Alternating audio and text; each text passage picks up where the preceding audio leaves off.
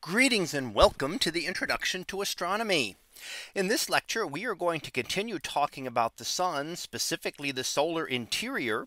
We've looked at how the energy is generated, but now we want to see how we understand it and look at the theory and observation of what we have seen and understand for the solar interior.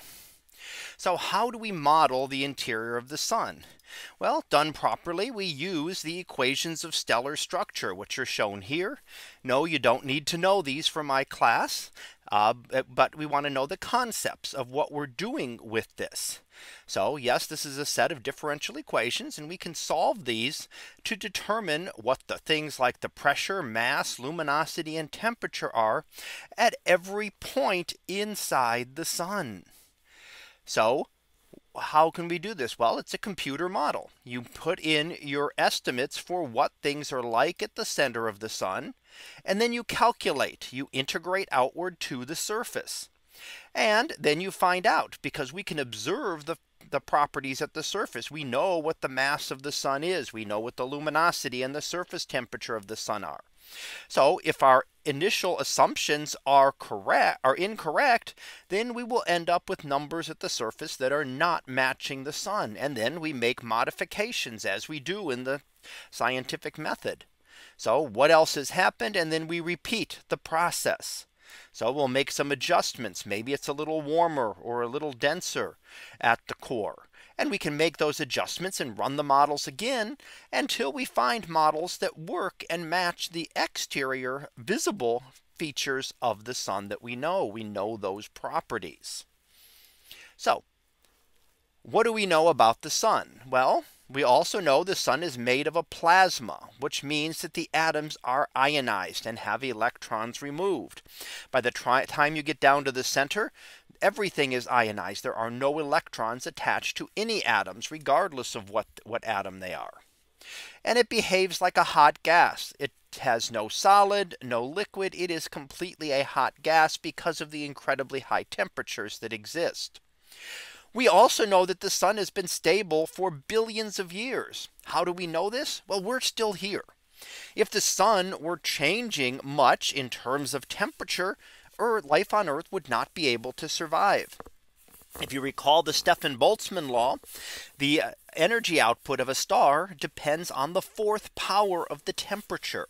So a slight change in temperature either up or down will have a significant effect on the energy output and would ma make Earth too hot or too cold. So we know that the sun has been in a very stable range for billions of years because life still exists here. This is done by what we call hydrostatic equilibrium. And that is where pressure and gravity are balanced that keep the sun uh, keep the sun in this equilibrium. So for any point in the sun, gravity is trying to pull objects down to the center. There's a pressure from the interior from the energy generation that pushes outward. And these two balance exactly. If they were not, the sun would either expand or contract. We will see what happens when it gets out of of hydrostatic equilibrium when we look at the evolution of stars later on. So we know that the sun has been stable. So the surface temperature, as I said, the surface temperature of the sun remains essentially constant. Any major change would mean life, no life on Earth. We know from previously we discussed how energy is transferred. We transfer energy by convection in the outer portion of the sun and radiation in the interior portion of the sun. So we transport energy in two ways, convection and radiation. Now, what we can do is take all of this information and try to put it together to get a model of the sun. And what we know is that the energy is generated only at the core. So only in this very central region are the temperatures and pressures significant enough for energy generation for nuclear fusion by the proton proton chain to occur. The energy moves outward first by radiation, then by convection until it reaches the photosphere, and then of course travels through the universe by radi radiative radiation. so any model of the interior needs to match what we see on the photosphere of the sun.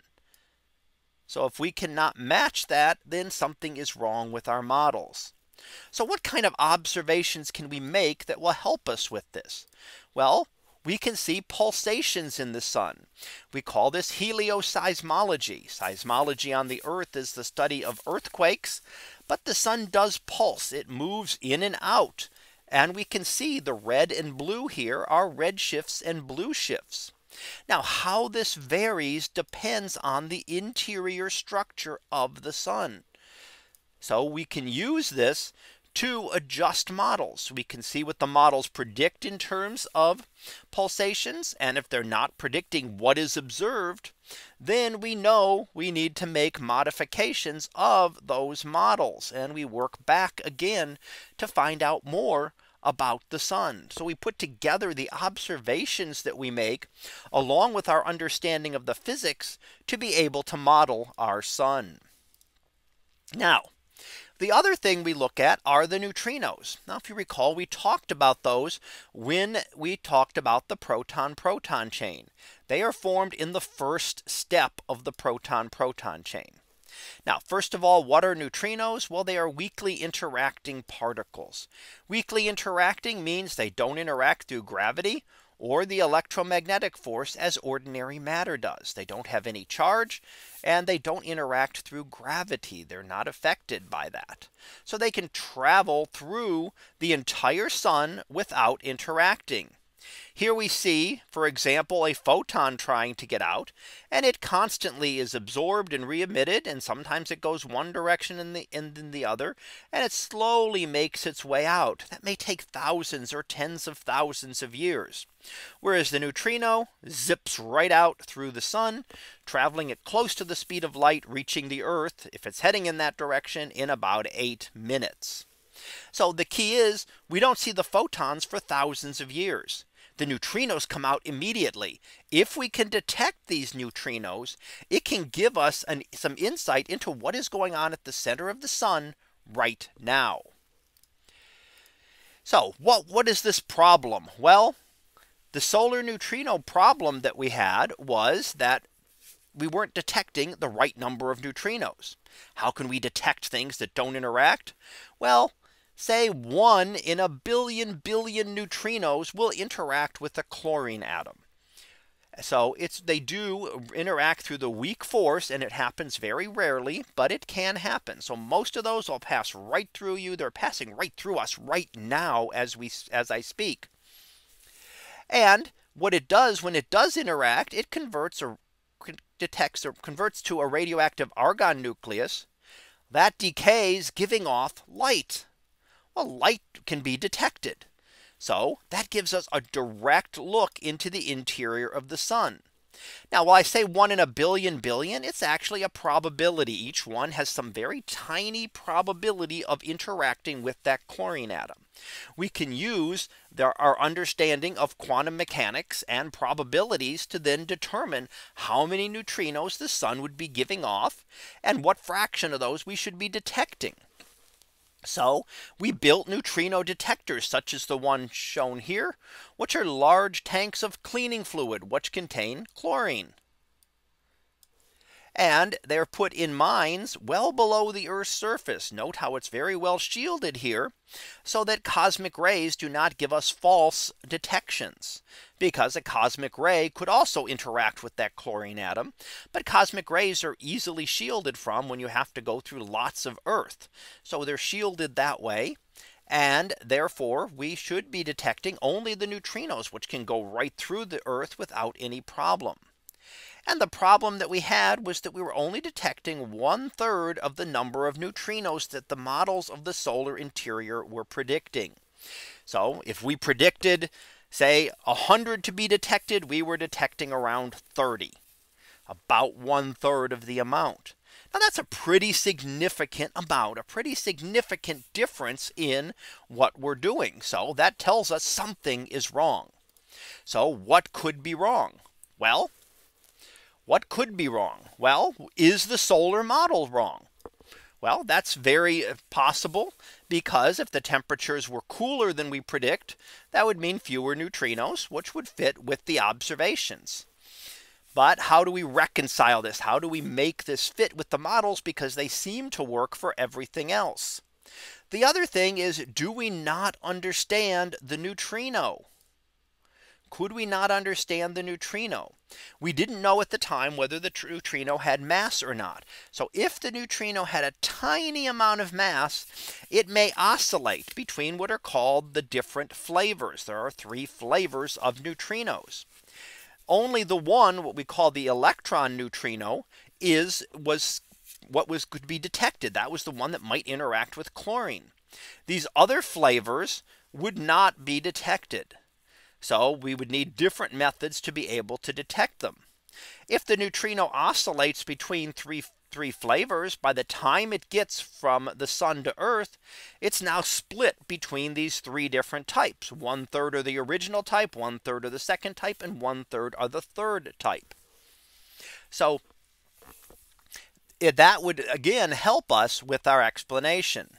So what was found? Well in 1998, we got the first evidence of neutrino oscillation that was seen and then clear evidence a couple years later.